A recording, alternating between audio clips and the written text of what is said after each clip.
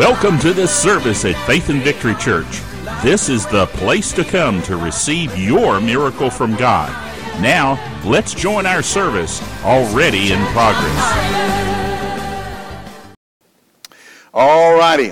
We were talking about our minds being deceived, and we finished up, you know, uh, we talked about you can be deceived by the devil. The devil blinded the minds. By your own disobedience. We didn't really quite cover that. Look at James 1.22. And then we're going to move on down into uh, what the Word of God will do to for us. We want God's Word to do something for us. Amen. But uh, James 1.22. So we can be deceived by the devil. We can be deceived by our disobedience. Look here. Um, verse 21, Wherefore lay apart all filthiness and superfluity of naughtiness, and receive with meekness the engrafted word, which is able to save your soul, sozo yosuke. But be doers of the word, and not hearers only what? Deceiving your own selves. Notice you can deceive yourself. Now, I'll be honest with you, the worst kind of deception is self deception. It's harder to see it than anything else. See, you can almost take some, when, somebody's deceived by another person, or like or by the devil, we can go to the Bible enough and say, here, here, here, here, here, and they can begin to see it. it's a deceived by another person. You can point, start pointing stuff out, and they can, but when you deceive yourself, it's hard to point it out because the pride gets in there. You know, I'm never wrong. And uh, self-deception is a bad kind of deception. So, um, if we're going to be do, if we're going to be spirit beings who are walking with God, and we, we are spirit beings, but if we're going to be living out of our spirit, living out of the new man, living in that whole new plane altogether, um, we're going to have to make sure that we're not just hearers of the word but we are doers of the word. There's a lot of people who go to church. Yeah, man, I heard that. Well, I've heard that. Well, I've heard that. I've heard that. And they go on talking about all the things they've heard, and they're not doing it. But be you doers of the word and not hearers only, deceiving your own selves. Like, I know a lot of people who go to every meeting of every preacher and every meeting they can get into and talk about what they heard and not doing any of it. Not making an application of it to their life. Just they heard it. And they're almost like the, the, the, philosophers of Mars Hill, where they're just constantly around trying to be, hear something new and hear something else and hear, and, you know, and just get to talk about what they've heard. And, and, they get into that realm. Well, I yeah, I know. Look, I heard this, this, this, but they don't, they don't have it working in their life. there's, a, there's a Greek word used in the New Testament. Uh, you know, we all know that the word gnosis, G-N-O-S-I-S, means knowledge. But there's another word, epignosis, E P I G N O S I S.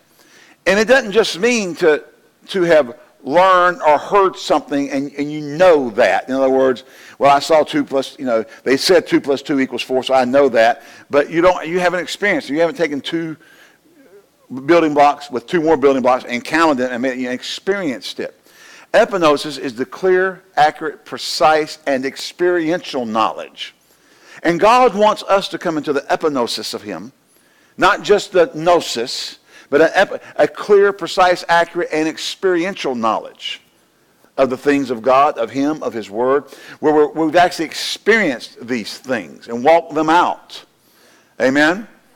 And so we don't want to just have a gnosis, we want to have the epignosis. Somebody say glory to God. Now, you don't have to go around and tell everybody I got the epignosis. We're just trying to give you the, the, the, difference in the meaning of those words so you understand. God's after more than just um, an acknowledgement that you have seen or committed that to memory. You've experienced it. You've gone beyond that. You've experienced it. Amen. Gnosis would almost be like you're acquainted with somebody. You met them. Now we, you know, we, we, we often see people and they say, "Oh yeah, I know them." Well how well do you? Well, I met them one time.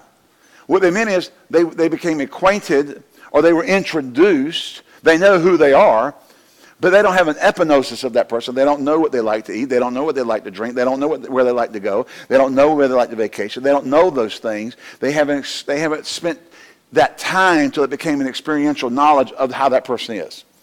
God wants us to be that with Him and His Word. He wants us to go beyond, oh, yeah, I, I met God because I got saved. We want to go into a deeper place where we, we know what God desires out of us, what God wants out of us. God, uh, we want to have that fellowship with Him. We want to know Him in a, in a deeper sense of the word rather than just being acquainted or have been introduced. Okay? And the same thing is true with his word. But be, you know, be the word and not hearers only, deceiving whom? Your own self. So we want to move beyond only hearing the word. You don't just show up for a church sermon, hear a couple scriptures, and walk out and say, Whoa, that was good today. You got to go apply some stuff. You got to go study it out. You got to make it part of your life, and you got to go apply it to your life for it to be beneficial. Having sat in Faith and Victory Church, I, we've had people come into this church and die. And just be honest with you. We've had people sit here for, for and, and, and, listen to the word and listen to the word and die. We had one person die in the church. Well, I thought y'all had faith. You can't override when someone's not applying. There has to be an application of that word. Amen. To their own personal life. Now, what have we? Did we change what we preached? Nope. Kept right on preaching the same thing. Why? Because the next person will get it. We've got people who had supernatural miracles. I mean, beyond just a normal. I mean, supernatural manifestations of healing in our church. Amen. So we've got them. We, we as individuals, see, we become individually responsible. So number one, uh, number one is, you know, this morning we said that you could be deceived by the devil. Tonight, you could be deceived by yourself. And third, you could be deceived by others. Look at 1 Timothy chapter 6. and, and if that air, if that heat is on, we don't need it. okay, it's not okay. Just making sure I hear the I hear the motor running. I'm thinking, dear Lord, we don't need any heat. it's just we're in that crazy time of year where it's you know a high of 38 one day and the high of 63 the next. And then the low will be, you know, 20 degrees higher than the high was the day before or something. You know, that's just Praise God for North Carolina, particularly up here in the uh, uh, northern Piedmont uh, where we get the Appalachian wedge. Hallelujah. That's a weather phenomenon we get here, and it just, oh boy.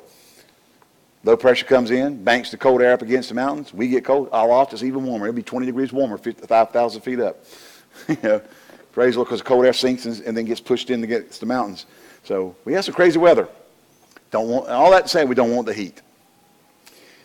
Here, look here in 1 uh, Timothy chapter 6, verse 20. Oh, Timothy, keep that which is committed to thy trust. Listen to his next charge to him. Avoid profane and vain babblings and oppositions of science so falsely so called, which some, have, some professing have erred concerning the faith. See, there are people who will come and lead you astray.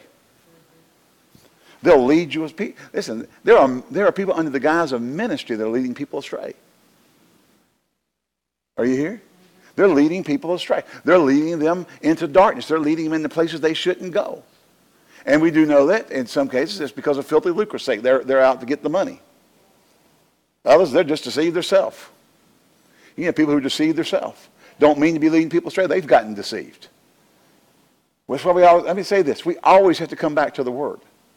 And we, as individual Christians, have a responsibility to individually go back to the Word for ourselves. No matter what our favorite preacher says, no matter what our pastor says, no matter what anyone says, you have a responsibility to go back and, and study the Word out for yourself.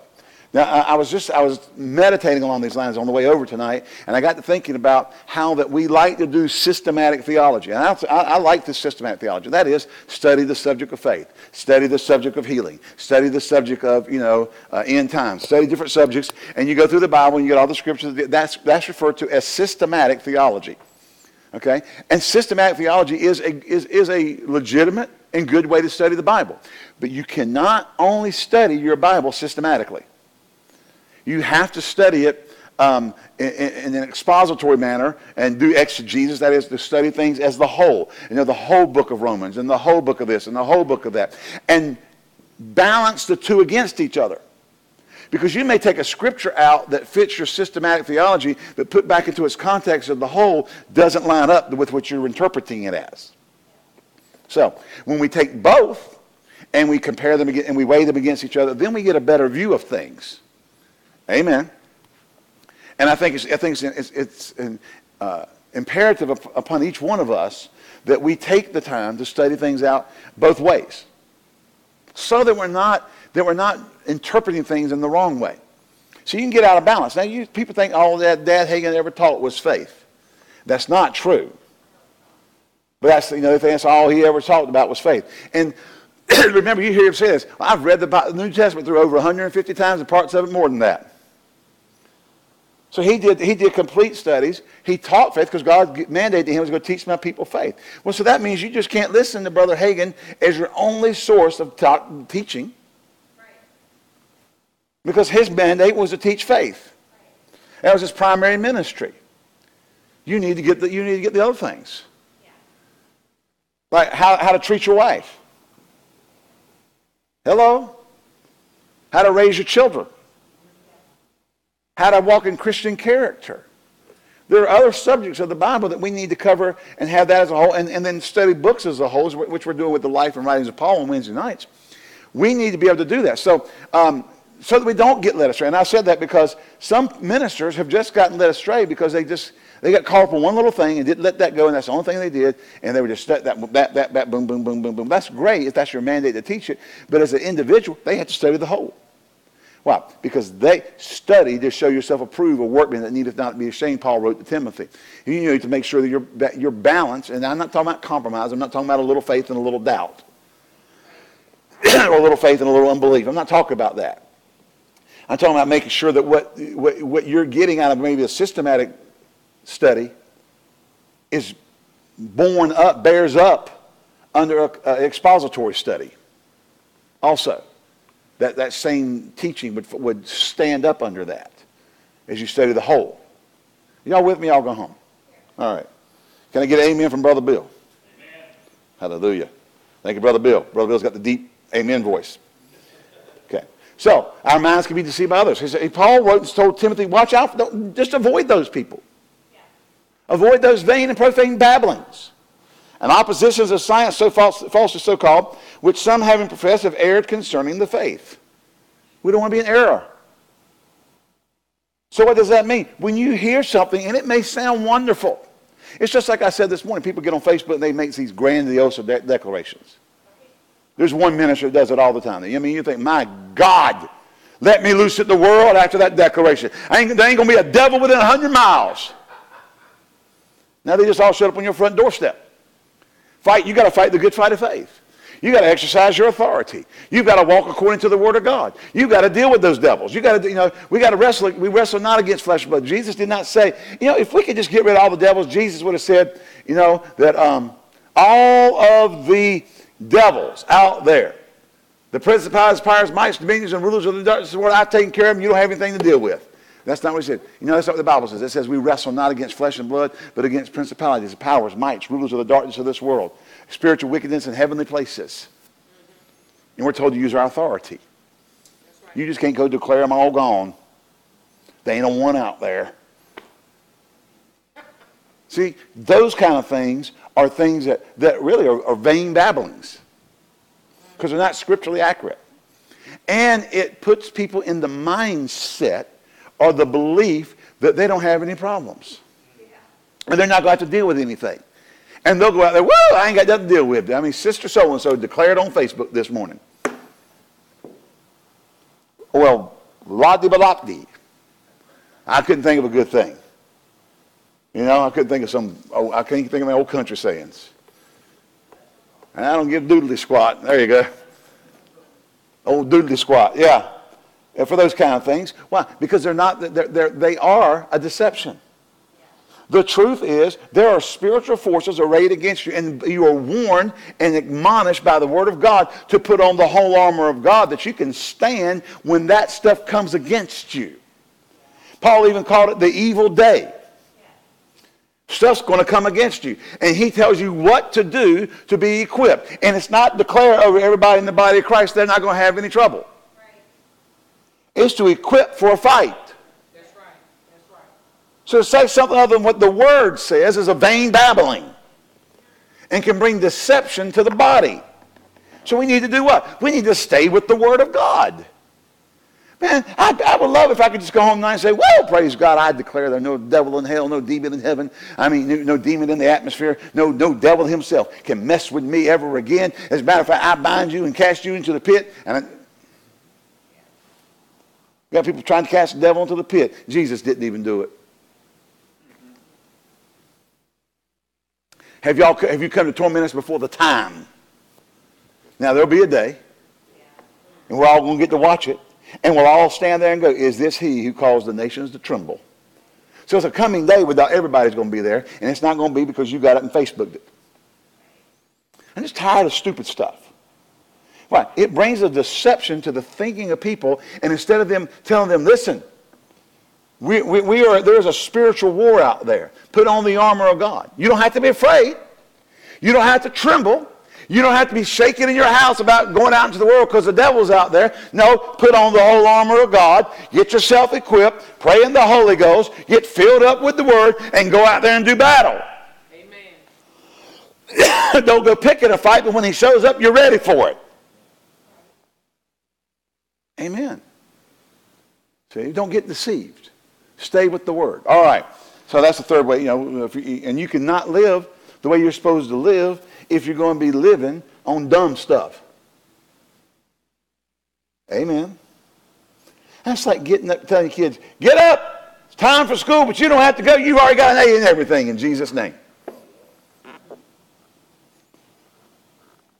You don't have to study. You don't have to do the homework. You don't have to take the test. I declare you have a day in Jesus' name. It don't work that way. I said it doesn't work that way. All right. So, what do we do? We, we start with the Word of God. It is the basis of our growth in Him. Remember, Peter said receive, uh, that um, um, being born again, not of corruptible seed, but of incorruptible seed, the Word of God which liveth and abideth forever. He also said, Peter said this, he said, um, desire the sincere milk of the Word that ye may grow thereby. Now, Paul did write to the, church, the Hebrew church and say, you should have been teachers. You're on milk when you should be on meat. So you're supposed to grow past the milk. We're supposed to get into the depth of the word.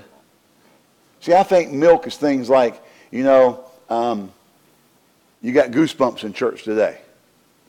That's kind of, you know, whoo, you know, Holy Ghost and I got goosebumps. Well, I thank God for the Holy Ghost. And I thank God for the experiences we have in the Holy Ghost. But you got to grow so that if you don't have a manifestation of the Holy Ghost, you still can stand. Because he's not going to always manifest the way you think he is. He'll do things for you as a baby he's not going to do for you as an adult. Not on a regular basis.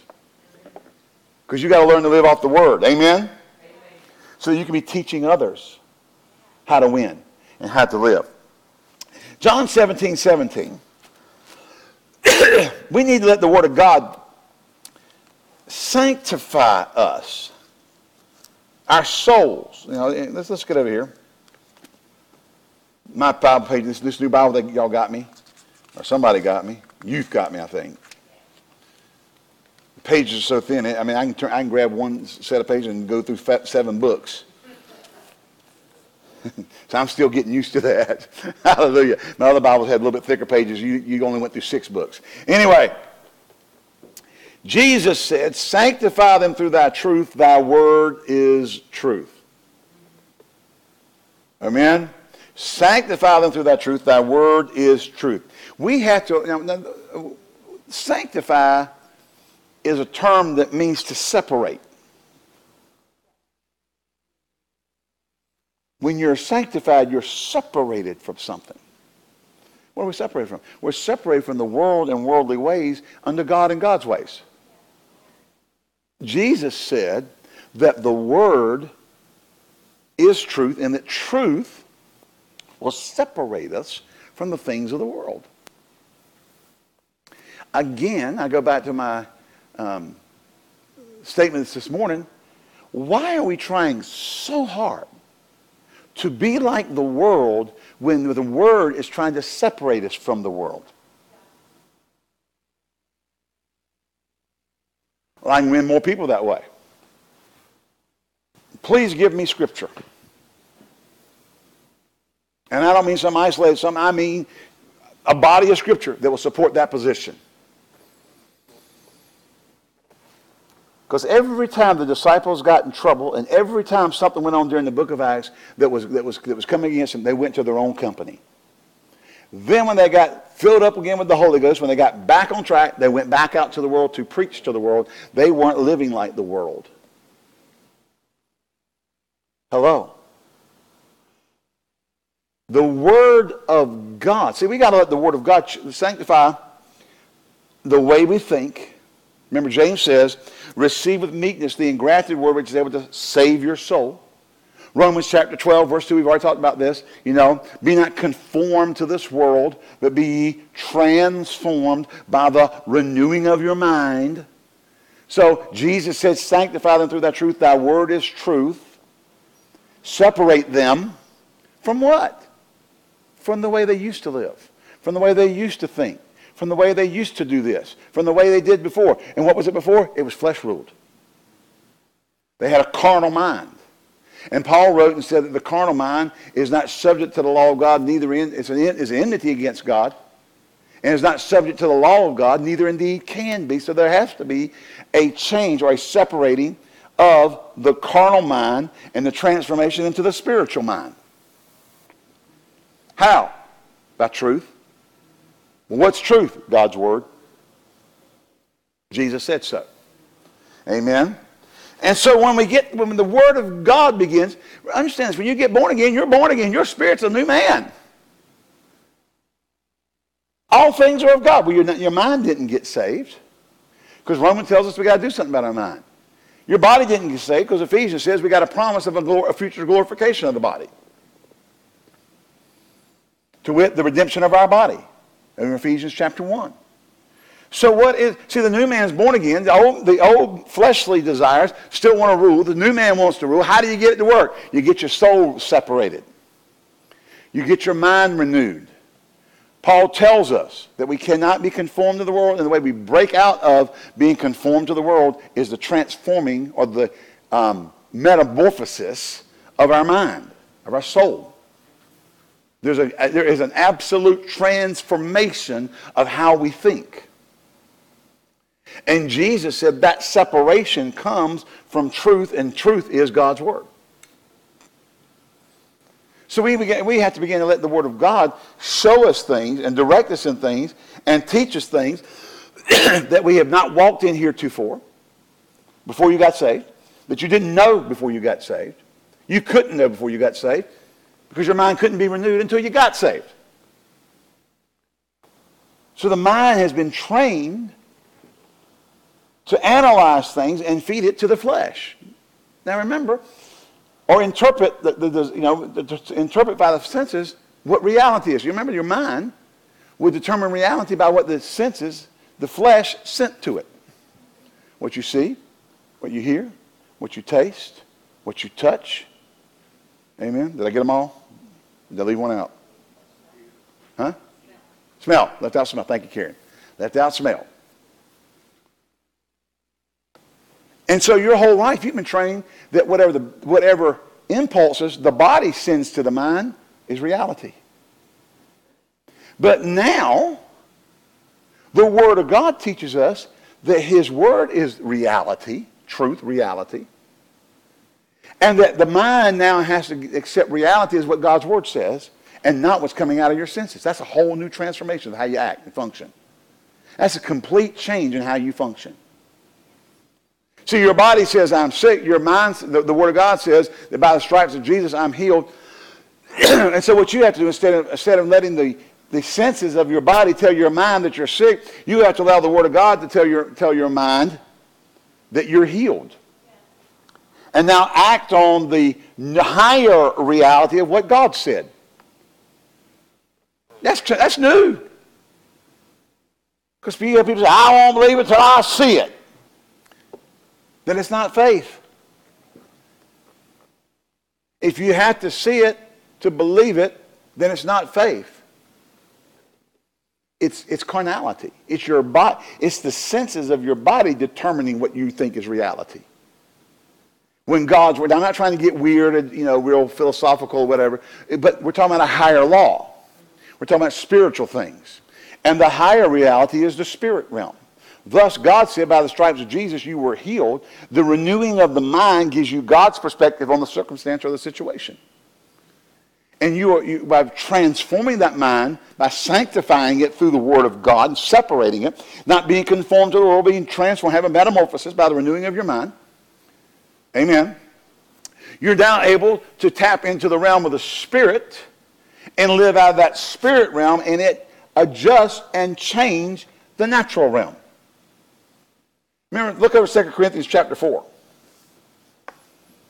And this isn't goobity gawk.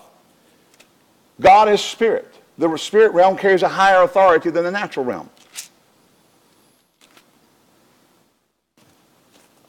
2 Corinthians chapter 4. You've heard this, you've heard this scripture before, I'm sure. While we look not at the things which are seen, but at the things which are not seen. For the things which are seen are temporal, but the things which are not seen are eternal. Can you say amen? amen? Hallelujah. Now, the word temporal means simply subject to change. Spiritual things, God's law, forever, O Lord, thy word is settled in heaven. Forever. How long? Forever. So it don't change. Now, I know people trying to change. Well, it wasn't relevant like it is. You know, it was maybe it was relevant 2,000 years ago, but it's not relevant today. I got news for you. Let's just stop talking that stupid relevant stuff. God's word is an unchanging. Listen, gravity is just as relevant now as it was the day the earth was created. It didn't change. It's still a law. It's still working. Well, you know, I mean, you know, 2,000 years ago, gravity was relevant, but it's not relevant today. You know, we can fly, not without gravity. If you really study it, we, we do say that the law of uh, thrust and lift supersedes the law of gravity. Actually, it, it still uses gravity.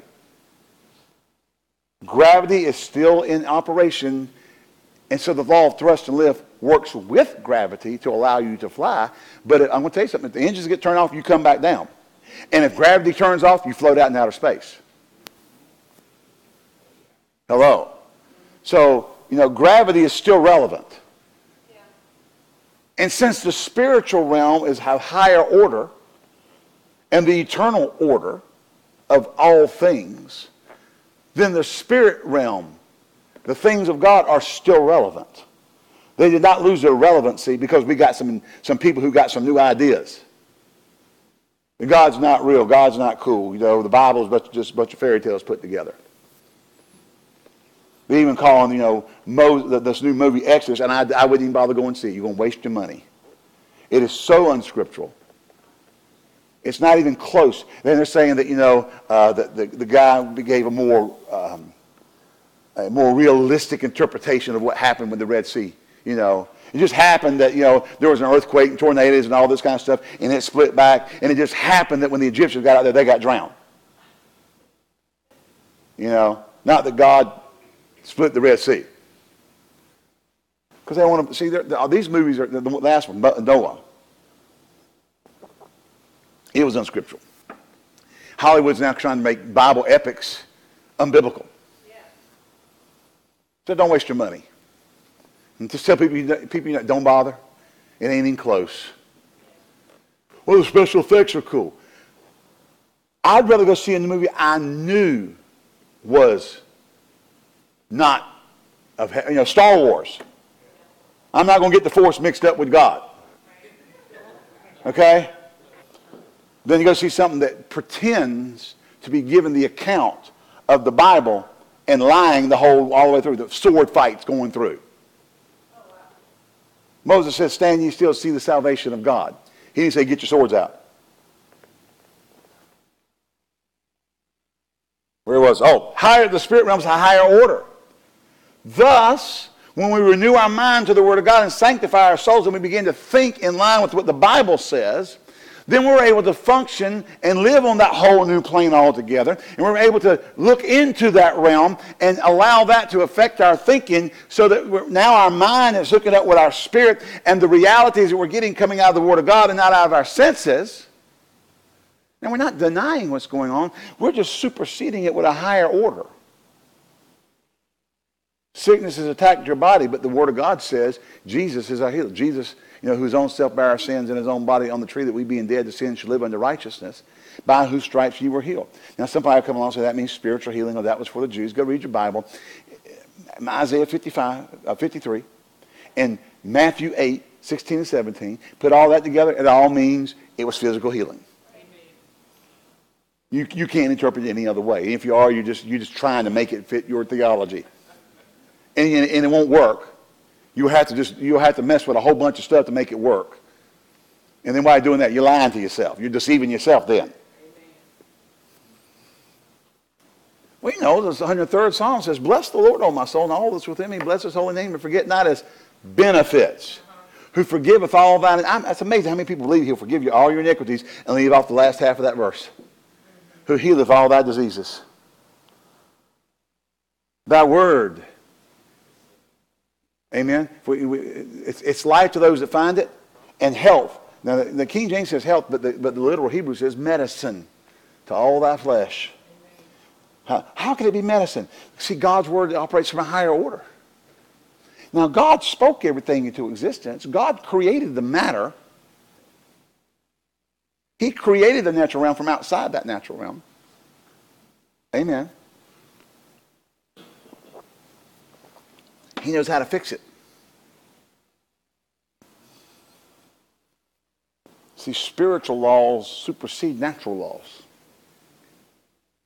That's why Jesus could walk on water. That's why the axe head could float. That's why God could split the Red Sea. He could call hell to fall out of heaven and burn on the ground like fire. He could consume a bu- he could burn a bush but not consume the bush. Glory to God. Are you here? Because the spiritual realm, the laws of the spirit operate on a higher plane than the natural laws. And that's why we as spirit beings living in this flesh body now, if you're not born again, you're still a spirit being. If you don't accept Jesus, you'll go to hell. Your spirit will exist forever in, in torment. That's just the way it is. So, you know, not just not Christians aren't the only ones who are spirit beings. Everyone's a spirit being. That's the way God chose to design it. Why? I don't know. Well, if you don't know why, then, you know, how, why, it doesn't matter whether I know why he did it. He did it. It's like saying the just shall live by faith. Why we got to live by faith? Because God said so. It doesn't matter. Well, I don't want to live by faith. Go ahead and be dumb, dummy. Go ahead and live by your senses. You're going to have a tough road to hoe. Anybody know what that means? If you're old country folk, you know what a tough road to hoe means. Now, Janie's uh, uncle had, uh, actually, it was her great uncle. And uh, he, he would have a garden that he used a tractor to till. Now, when you pull out a tractor to go till your garden, you know that's a long road. Whenever they went one time to pick potatoes, uh, to, to, get potatoes, pick potatoes, whatever you call it. I don't remember what you call it, get, dig potatoes. And you look down that row and you thought, my God, I've seen tobacco rows shorter than that. And you got, you know, you, and you have to go, you used to have to go out in, in the old days, you go out there with a, with a hoe, a garden hoe, and get all the grass and all the weeds out as they're trying to come up and choke off the, the crops. And so you look down that road, you got a tough road to hoe. And the God, I can't even see the other end. Now, Dorothy's down there with the rainbow. I mean, it's way on down there. If you're going to live out of your flesh, you got a tough road to hoe. You can live out of your spirit and live in, live in, in the things of God and live in the, in the tranquility of God and the peace of God. Can you say glory? Can you say hallelujah? So look at Psalm 119, verse 130. See, the Word of God will enlighten us. Everybody say, enlighten me. And what it will enlighten you to is how God sees things. Can I say something? You already know how you see it.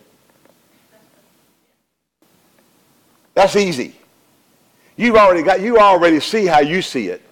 What you need is to change your perspective so you see how God sees it. Psalm 130 says, The interest of thy word giveth light, it giveth understanding. I like, I always like this verse, unto the simple. That means you don't have to have a PhD to get it figured out. Glory to God. Amen? I mean, you could, you could graduate the fourth grade and you still get it. Amen. The entrance of thy word gives light. Now, light, symbolically or figuratively, is, is um, representative of revelation or illumination or understanding of something. Okay? So, you know, the entrance of that word giveth light, it gives, it gives illumination on things. And it gives understanding to the simple. Even people who don't, who can't figure out other stuff, God's word, will, God's word will bring understanding to them. Somebody say glory. Hallelujah. Praise God. Ephesians chapter 1, verse 18. It's Paul's prayer to the church at Ephesus. Probably the church at large. We, you know, it's, it's highly likely that both Galatians and Ephesians were circular letters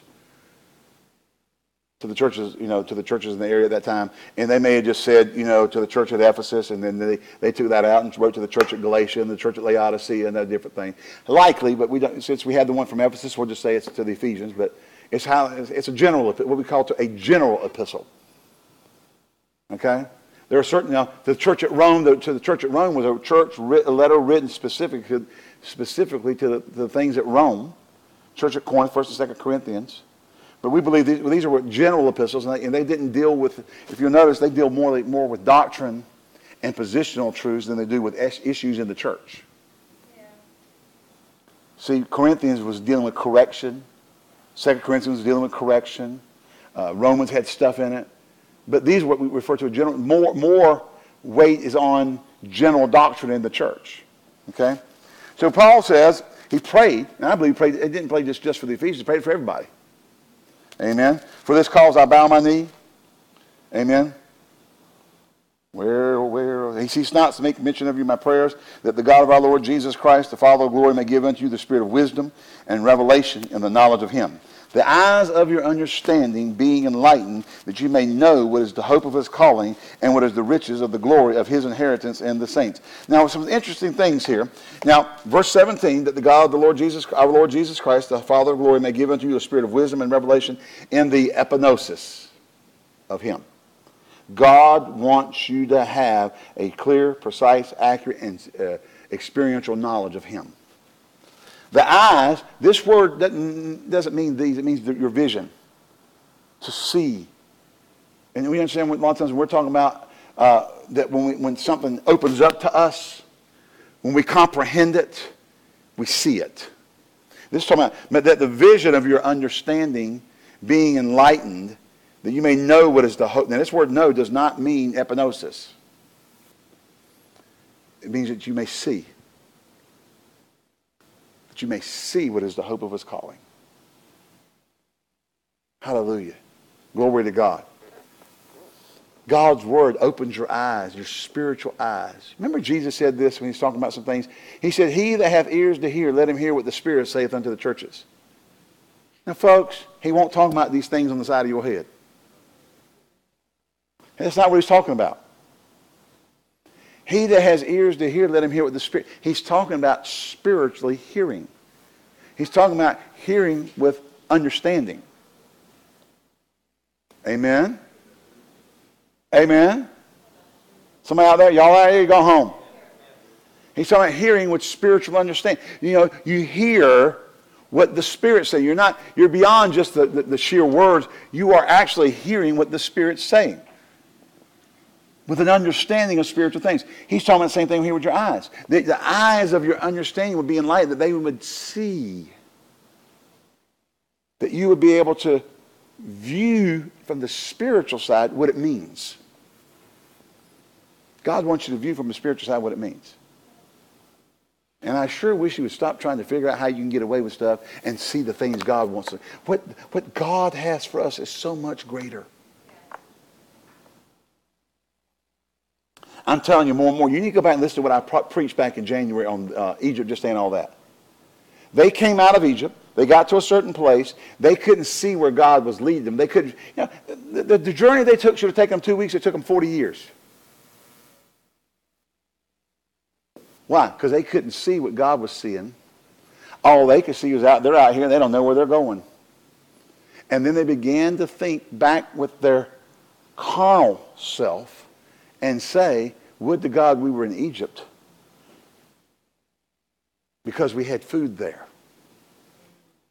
They wanted to go back to Egypt. Now, for 400 years, they were on the wine and cheese crowd. And it wasn't the uh, red or white wine. It was W-H-I-N-E wine, complaining crowd. 400 years they complained. Then God brings them out, and then they start whining, wish they could go back.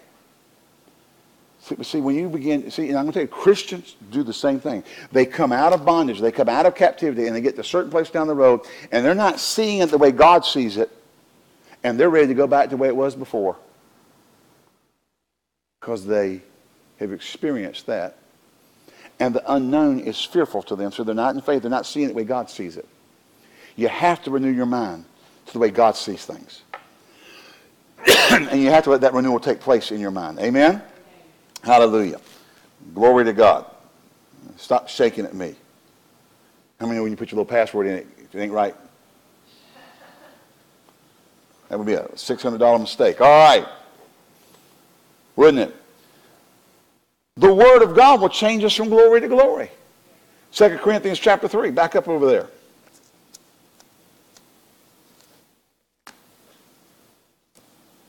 We're going to wrap up right about here. Is that all right with y'all? Not all right with y'all? You wrap up somewhere else?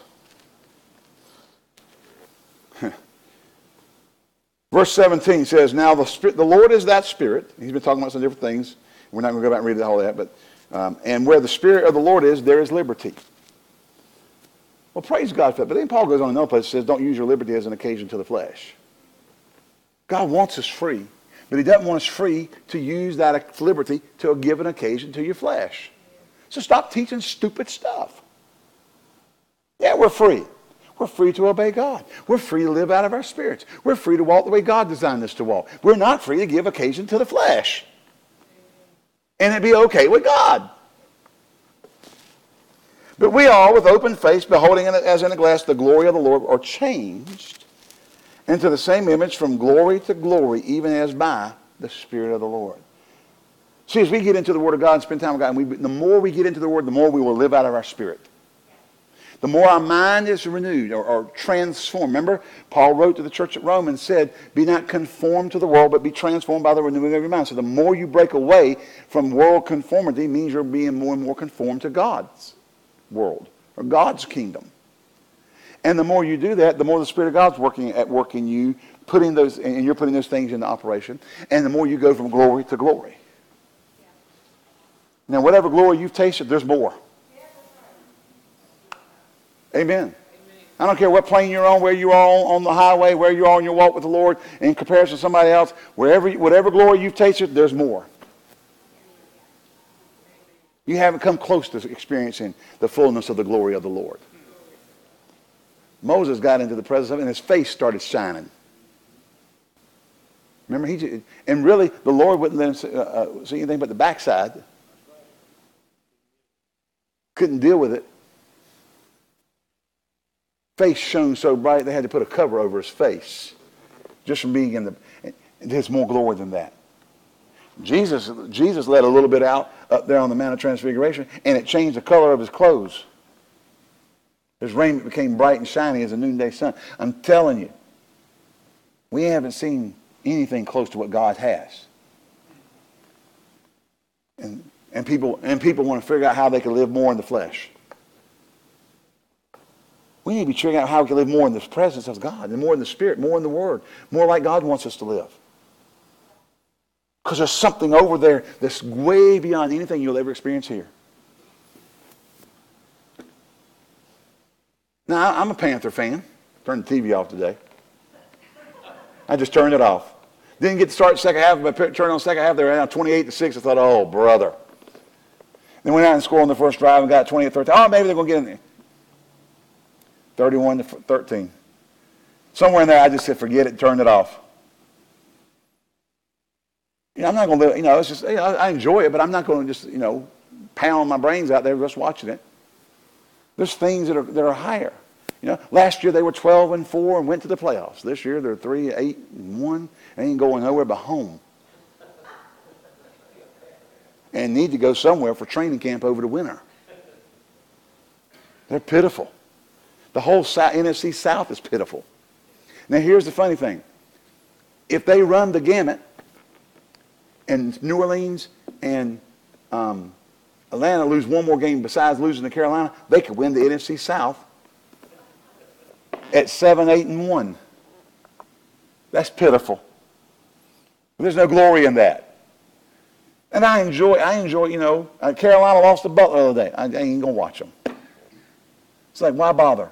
There's, there's more things more of more value than wasting all that time on that. There's nothing wrong watching a football game. I, you know, I watch them. Amy watching the I watched the Raiders the other day when they beat Kansas City because, you know, anybody see my post? Turn on the TV, and Oakland was beating Kansas City 23 to 7 or something. And I posted. I turned the TV on and must have experienced a disruption in the time-space continuum in a wormhole back to the 70s because Oakland was beating Kansas City. They were 0 and 10 at the time. and 0 and 16 over their last games, but they won that game. all the things this world has to offer. All the pleasures this world has to offer. I like going on a cruise, going snorkeling, eating all the food. Eat the ba ba ba ba ba glory to God.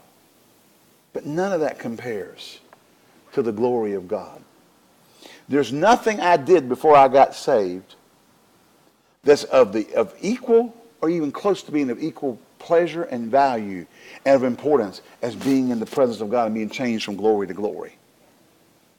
There are things with God that you'll never be able to experience in the natural, that you can only experience in God. And we should be telling people that instead of, well, you can get away with this, still get to heaven. Hello? Now, Dad Hagin, somebody came to Dad Hagin one time and said, Brother Hagin, I would get saved, but I like to dance. He said, well, go ahead and get saved. You can dance all you want to. See, he, he wasn't condoning dancing. He said, go ahead and get saved. And you can dance all you want to. They came back to him about a week later and said, I see what you mean. He said, what? He said, ever since I got saved, I want to is gone. We got churches trying to convince people that it's okay to do whatever they want to do and not get them saved.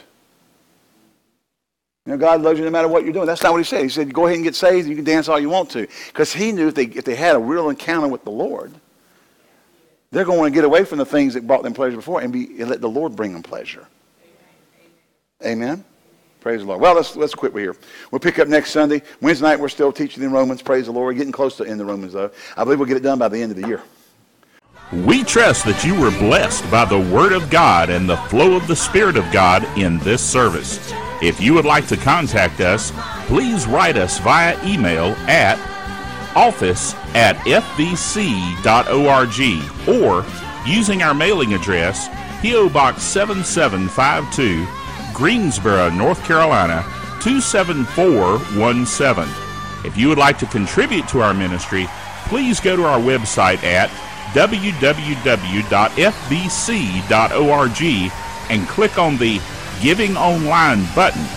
Thank you, and may God richly bless you for your giving.